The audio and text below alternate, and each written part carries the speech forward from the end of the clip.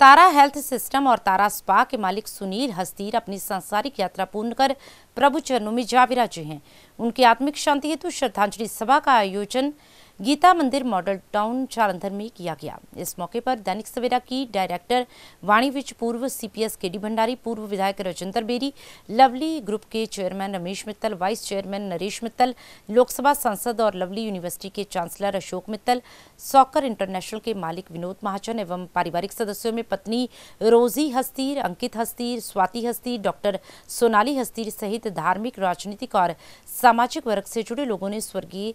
सुनील हस्तीर को श्रद्धा सुमन अर्पित किए।